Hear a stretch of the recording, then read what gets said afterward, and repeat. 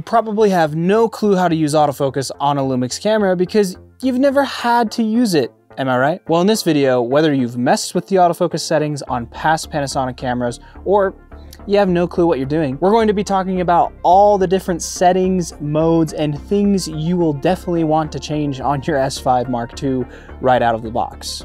Oh, and that video you just watched was shot on the S5 II in autofocus, if you were wondering, and later in the video I will get my opinion of my buddy Dallas, a Sony shooter, and what he thinks the autofocus compares to Sony. Let's go. Really quick, I'm giving away two different lenses. Once we reach 10K on YouTube, I'm giving away a Meike 50mm 1.2 for L mount, and once I reach 10K on Instagram, I'm giving away an L mount 85mm 1.8 all you gotta do is subscribe or follow to participate in those giveaways. Why not just follow and subscribe? You could win both, who knows? All right, so now you just got your camera, took it out of the box, set up your time zone and all that stuff, and now the camera is on. The first thing you'll wanna do is go into the menu and change the exposure mode to M for manual. The next thing is change the rec file format from MP4 to MOV. Click yes. The next thing you'll want to turn on is constant preview. I literally have no clue why this is not the default option. If you leave this off and adjust your settings on your camera, you won't be able to see in real time what your exposure is.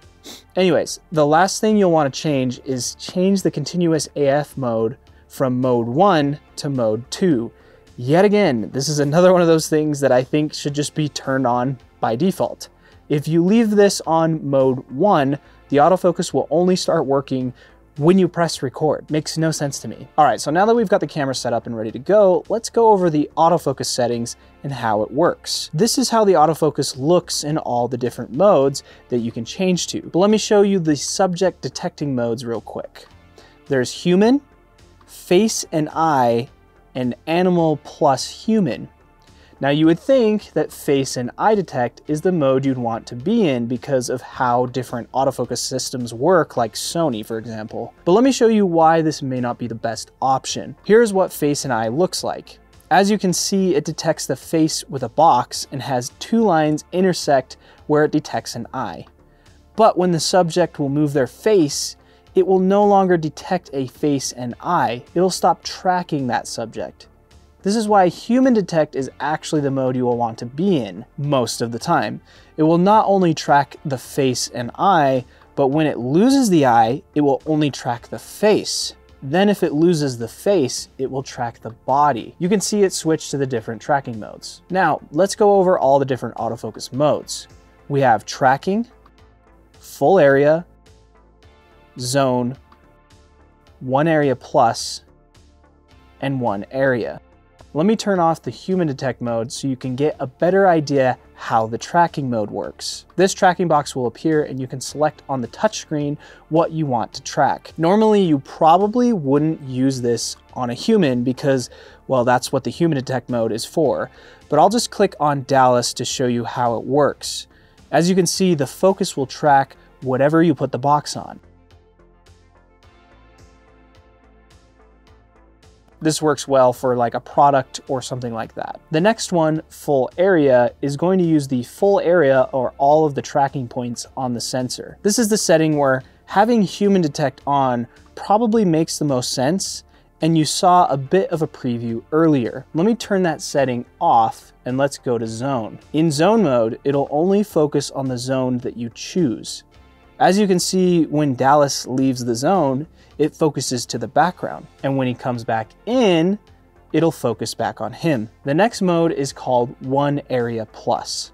This is another mode where I think it makes a lot of sense to have human detection on because notice when this box appears, it's going to try and track a human within that box but only when they are touching the area. As you can see, when he's just outside the box, it does not track him anymore but as soon as he touches the box, it begins tracking him again.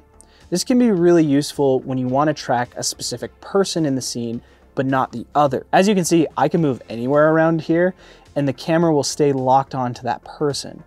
It can even be useful if people are walking through the scene as well. It still is possible that it'll do some pulsing as people walk by, but I think it does a very good job sticking on the person you want. The last mode is just one area, which is similar to one area plus, obviously without the plus. You just click on wherever you want the camera to focus. You can also make the box bigger and smaller, and this also applies to one area plus. Now, another question I've had is how is the autofocus when you compare it to a Panasonic lens and a Sigma lens?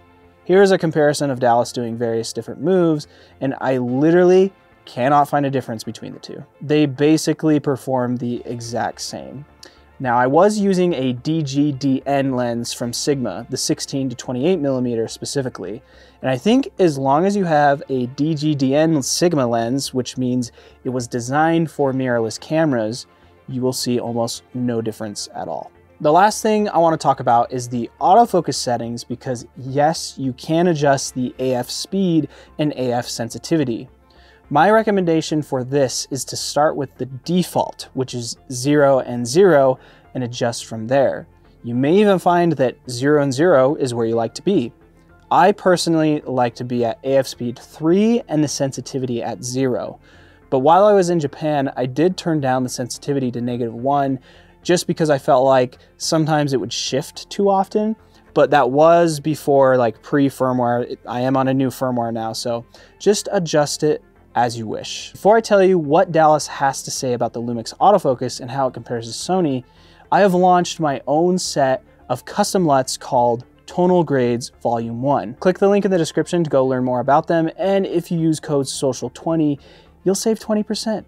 And I also launched my own Instagram filter. So if you use my Instagram filter and tag me, I will DM one of the tonal grade LUTs for free. So now here's what Dallas had to say. I, got, I, I gotta reiterate. I, I told him right before we filmed, honest opinion. So I wouldn't say it's fully up to where my Sony is at, but I would say there this is definitely a step in the right direction, and I would say it's maybe one notch below the Sony. But all in all, with the dark lighting we had, we were dealing with in here, it held focus very well. Less less bouncing, I would say, than the mm-hmm. Sony. I feel like my Sony, especially when I got when I'm moving, you know, I've got objects in between me and the subject and whatnot. I'll have mm-hmm. more bounce than I got with this, but overall I was I was impressed with the autofocus. And there you have it. That's everything I have for this video. There is a link to everything in the description, and if you find this video helpful, be sure to subscribe so you don't miss out on future uploads.